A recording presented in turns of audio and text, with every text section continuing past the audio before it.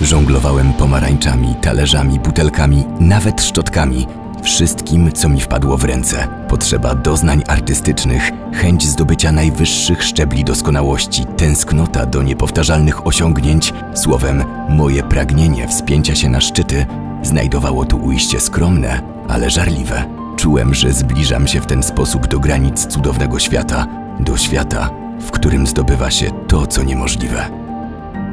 Żongler. Romeo Gary o przewrotnej duszy kameleona i Agata Tuszyńska, o jakiej nie mieliście pojęcia. Premiera 18 maja. Zaprasza wydawnictwo literackie. Żongler.